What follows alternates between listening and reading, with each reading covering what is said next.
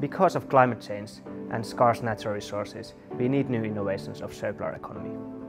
Circular economy is an industrial system that's based on, for example, recycling, renting and sharing, instead of producing and consuming new stuff. For this video, we have selected five inspiring solutions out of four focus areas of circular economy that push us towards zero waste society. Last year, we facilitated a national roadmap on the circular economy for Finland together with a very large group of stakeholders. And uh, in this roadmap, we defined uh, Finland's focus areas for the circular economy. For the next two years, we'll be supporting the implementation of that roadmap. So both financing and uh, other, other uh, activities for supporting different kinds of pilot projects and key projects here in Finland.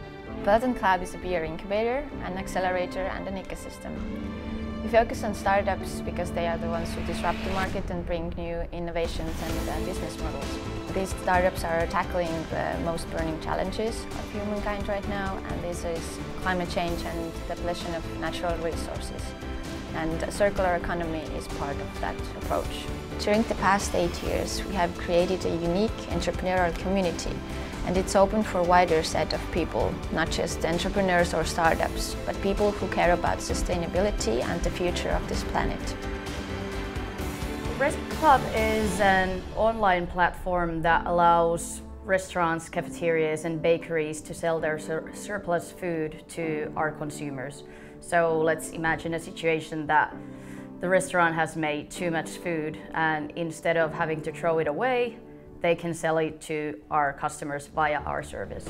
Restaurants get to sell their surplus food and they don't have to throw it away and consumers get like an easy and affordable uh, choice like for their dinner or late lunch or snack or whatever you want and obviously it's good for the environment.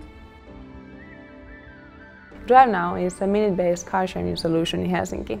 So it's a free-floating car share where you can take the car from point A and then return it to the point B. Privately owned cars are used less than 5% of the time. Other times they are just parked somewhere unutilized. And we can see that one car sharing car can actually replace three to six privately owned cars because they are used more efficiently, used by multiple users.